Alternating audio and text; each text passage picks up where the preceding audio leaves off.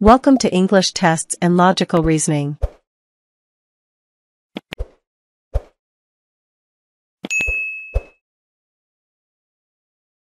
Total questions 10. You have 10 seconds for each question. You may pause the video if you need more time. Wish you the best of luck.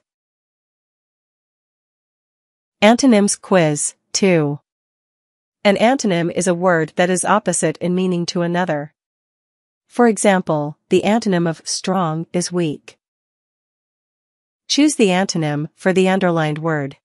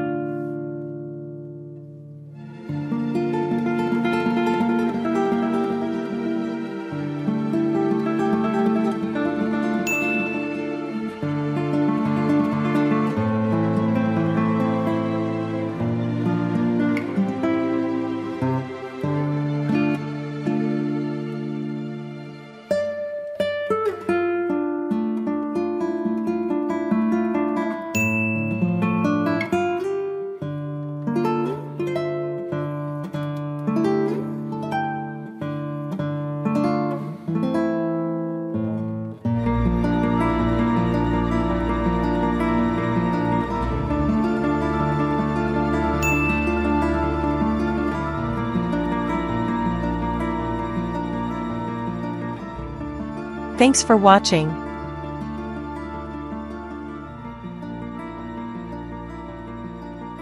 How many questions did you answer correctly?